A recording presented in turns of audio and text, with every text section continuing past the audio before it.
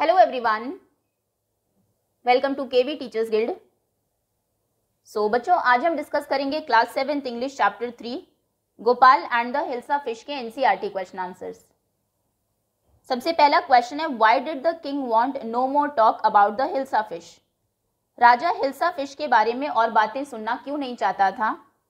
Answer is the king was fed up with the talks going around about hilsa fish hilsa fish के बारे में चारों तरफ़ जो बातें चल रही थी, राजा उनसे फेडअप परेशान हो चुका था। As every one was talking about the fish क्योंकि सभी लोग सिर्फ़ फ़िश के बारे में ही बात कर रहे थे। Second question is what did the king ask Gopal to do राजा ने गोपाल को क्या करने को कहा to prove that he was clever ये प्रूव करने के लिए, ये साबित करने के लिए कि गोपाल एक्चुअली में क्लेवर है। So the king asked Gopal to bring hilsa fish to the palace राजा ने गोपाल को कहा कि महल में तुम्हें एक हिल्सा फ़िश को लेकर आना है without any one asking a word about the fish और कंडीशन ये है कि रास्ते में कोई भी तुमसे फ़िश के बारे में एक वर्ड ना पूछे। मतलब फ़िश को कोई भी नोटिस ना करे, इस तरीके से तुम उसे महल में लेकर आओ। Third question is what three things did Gopal do before he went to buy his hilsa fish Gopal जब हिल्सा फ़िश को खरीदने जाता है तो उससे पहले वो क्या तीन चीज़ें करता है? So the three things that Gopal did before he went to buy his Hilsa fish was number one, he half shaved his beard. अपनी बियर्ड को आधा शेव करता है आधा ऐसे ही रहने देता है। ही स्मेयर्ड हिमसेल्फ विद एश एश राख से राख पूरे शरीर पर लपेट लेता है and put on disgraceful rags बिल्कुल फटे पुराने डिसग्रेसफुल कपड़े पहन लेता है। Fourth question is how did Gopal get inside the palace to see the king after he had bought the fish Gopal ने जब फ़िश को खरीद लिया और वो उसको महल तक लेकर आ गया तो फिर वो पैलेस में अंदर कैसे गया राजा से मिलने के लिए? Answer is as he reach the court the guards asked him to go back as he can not see the king जैसे ही वो कोर्ट में पहुँचता है तो वहाँ पर जो गार्ड्स थे, उन्होंने उसको कहा कि तुम वापस चले जाओ, तुम राजा से नहीं मिल सकते and they refuse to open the gates और उन्होंने गेट्स ओपन करने से भी मना कर दिया। Upon which he started dancing and singing loudly. तो इस पर जो गोपाल था, वो ज़ोर ज़ोर से गाने लगा और डांस करने लगा। Then the king us the guards to bring him inside और जब राजा ने ये सुना तो उसने अपने एक गार्ड को कहा कि, जाओ जो ये आदमी है इसको, अंदर ले आओ। Fifth question is explain why no one seem to be interested in talking about the hilsa fish which Gopal had bought Gopal ने जो हिल्सा फ़िश खरीदी, कोई भी उसके बारे में बात करने में इंटरेस्टेड क्यों नहीं था? Answer is no one seem to be interested in talking about the hilsa fish कोई भी इंटरेस्टेड नहीं था as Gopal drew all the attention of the people towards himself Gopal ने जो भी अटेंशन था, जो लोगों का ध्यान था, वो अपनी तरफ़ आकर्षित कर लिया बाय पुटिंग ऑन रैग्स फटे पुराने कपड़े पहनकर ऐश को लपेट के और अपने फेस को हाफ़ शेव करके। Now question number six write true और false against each of the following sentences कुछ सेंटेंसेस आपको दिए हैं, आपको बताना है वो ट्रू है या फॉल्स है। First is the king lost his temper easily राजा अपना टेम्पर बहुत आसानी से लूज कर देते थे मतलब उन्हें गुस्सा बहुत जल्दी आता था। तो ये बिल्कुल ट्रू है। हमने देखा कि एक दरबारी जब हिल्सा के बारे में बात करता है तो राजा उस पर चिल्लाने लगते हैं। दो बाद में उन्हें रियलाइज़ होता है, वो सॉरी फील करते हैं बट टेम्पर उन्होंने जल्दी लूज कर दिया। Next is Gopal was a mad man Gopal कोई पागल आदमी था। फॉल्स स्टेटमेंट है, उसने अपने आप को ऐसा दिखाया ताकि लोग उस पर ध्यान दे और हिल्सा के बारे में बात ना करें मतलब कि वो एक क्लेवर मैन था Gopal was the clever man true Gopal was too poor to afford decent clothes Gopal बहुत ज़्यादा गरीब था, इसलिए वो अच्छे कपड़ों को अफोर्ड नहीं कर सकता था। ये भी फॉल्स है, उसने जानबूझ के डिस्ग्रेसफुल रग्स को पुट ऑन किया था। The king got angry when he was shown to be wrong जब गोपाल ने राजा को गलत साबित किया तो उसके बाद राजा गुस्सा हो गए। फॉल्स स्टेटमेंट है। इनफैक्ट राजा हंसने लगे थे और उन्होंने गोपाल को कॉन्ग्रेचुलेट भी किया। अभी ये तो आपकी बुक के क्वेश्चन आंसर्स थे। Next is working with language notice how in a comic book there are no speech marks when characters talk comics में आपने देखा होगा कि जब कैरेक्टर्स बात करते हैं तो कोई भी स्पीच मार्क्स नहीं होते। स्पीच मार्क्स मतलब कि ये जब कोई कुछ कहता है तो ये हम ओपनिंग कोटेशन मार्क लगाते हैं, फिर जो उसने कहा है, फिर यहाँ पर closing quotation mark and then full stop तो ये आपको कॉमिक्स में देखने को नहीं मिलेगा। इसके बजाय जो भी उसने कहा है, हम उसको एक स्पीच बबल में रखते हैं। लेकिन अगर हम उसकी बात को रिपीट करना चाहे, या फिर रिपोर्ट करना चाहे कि उसने क्या कहा है तो फिर हमें उसको रिपोर्टेड स्पीच में रखना होगा। नीचे कुछ सेंटेंसेस आपको दिए हैं स्टोरी के। उनको आपको चेंज करना है रिपोर्टेड स्पीच में। The first one has been done for you जैसे कि एक सेंटेंस है स्टोरी का how much did you pay for that hilsa एक लेडी पूछती है एक पर्सन को जो कि हिल्सा लेकर आ रहा था कि इस हिल्सा के लिए तुमने कितना पे किया? तो इसको आप लिखेंगे the women asked the man women ने मैन से पूछा how much he had paid for that hilsa कि उसने उस हिल्सा के लिए कितना पे किया है? नाउ सेकेंड सेंटेंस है why is your face half shaven तुम्हारा फेस हाफ़ शेवन क्यों है? ये गोपाल की वाइफ उनसे पूछती है सो Gopal wife asked him why his face यानी कि गोपाल का फेस वॉज़ हाफ़ शेवन कि उनका फेस हाफ़ शेवन क्यों है? I accept the challenge your majesty ये गोपाल कहता है राजा को कि मैं चैलेंज एक्सेप्ट करता हूँ। So so, Gopal told the king Gopal राजा को कहता है that he accepted the challenge कि उसने चैलेंज को एक्सेप्ट कर लिया है। जब भी हम चेंज करते हैं रिपोर्टेड स्पीच में मतलब वो बात पहले हो चुकी है, हम किसी को बता रहे हैं तो हमेशा पास्ट टेंस में लिखेंगे। The challenge next is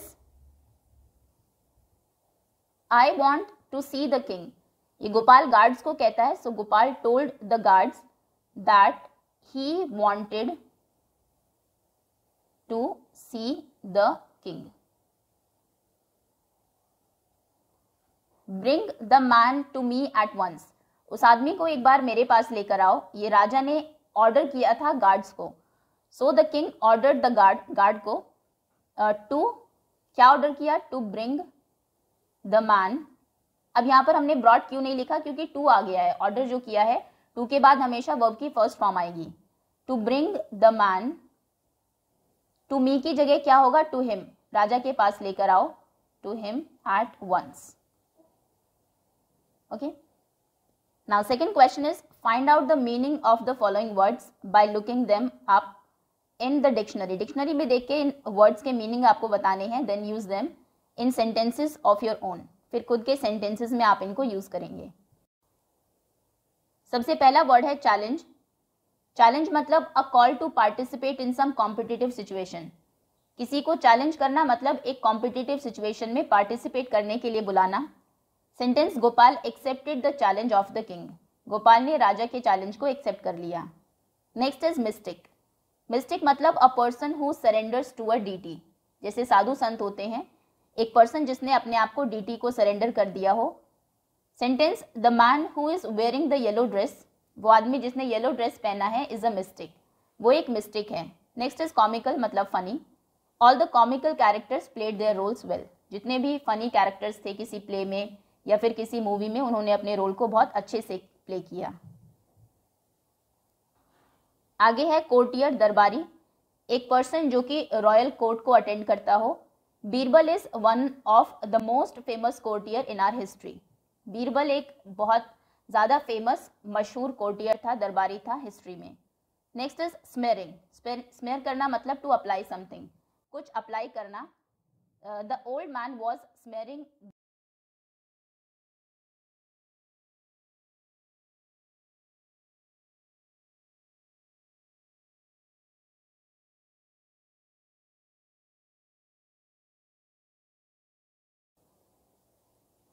next is picture reading look at the pictures and read the text aloud pictures को देखिए और जो टेक्स्ट है साइड में उसको रीड करिए। सबसे पहली पिक्चर है stag by the side of a pond एक पॉन्ड तालाब के साइड में एक स्टैग मतलब एक बारह सिंगा है। अभी ये कह रहा है how beautiful my horns are पानी में अपने आप को देखता है और कहता है कि मेरे जो सींग है, वो कितने सुंदर है। But my legs are so thin and ugly लेकिन मेरे जो पैर है, वो बहुत थिन है और बहुत अगली बदसूरत भी है। Next picture hunters run for your life फिर हंटर्स शिकारी वहाँ पर आ जाते हैं और वो अपनी जान बचाने के लिए भागता है। लेट मी हाइड समवेयर सोचता है कि मुझे कहीं छिप जाना चाहिए। दीज ब्रांचेस अभी आप देखेंगे कि वहाँ पर जो ब्रांचेस थी पेड़ की जो शाखाएँ थी, उसमें उसके सींग उलझ जाते हैं। They are too close get out of here अभी हंटर्स बहुत पास में आ गए हैं, वो वहाँ से निकलने की सोच रहा है। अभी दौड़ रहा है तो कहता है I was proud of my horns मुझे अपने सींगों पर इतना प्राउड घमंड था। They could have caused my death आज उनकी वजह से मेरी डेथ हो सकती थी। I was ashamed of my legs और लेग्स पैरों पे इसको बहुत शर्म आती थी। अशेम्ड था उनके वजह से। दे सेव्ड मी आज उन्होंने मुझे बचाया। अभी इस स्टोरी पर बेस्ड कुछ क्वेश्चन हैं। First question is where is the stag stag ये बारह सिंगा कहाँ था? So the stag is by the side of a pond वो एक पॉन्ड की साइड में था. Next is what is he doing वो क्या कर रहा था? He is looking at the reflection of his horns and legs in the water वो पानी में अपने हॉर्न्स की और लेग्स की जो रिफ्लेक्शन जो परछाई है, उसको देख रहा था. Next is does he like his antlers जो उसके हॉर्न्स हैं, सींग है, क्या वो उन्हें पसंद करता था? बिल्कुल yes he like his antlers वो कहता भी है कि ये कितने ब्यूटीफुल है. Does he like his legs क्या वो अपने पैरों को पसंद करता था? No he didn't like his legs वो कहता है कि ये कितने थिन और अगली है। Next is why is the stag running stag दौड़ क्यों रहा है? The stag was running to save his life from the hunters hunters से खुद की लाइफ को सेव करने के लिए वो यहाँ पर दौड़ रहा था। Next is is he able to hide in the bushes क्या वो बुश में हाइड करने में सक्सेसफुल रहा? जहाँ पर वो कोशिश कर रहा था नो no, नहीं he was not able to hide in the bushes अपने हॉर्न्स की वजह से। Next is where are the hunters now अभी हंटर्स कहाँ थे? They are quite close to the stag जब वो छिपने की कोशिश कर रहा था तो वो कहता है कि वो बहुत क्लोज बहुत पास में आ गए थे। इज़ द स्टैग फ्री क्या फाइनली स्टैग फ्री हो पाता है?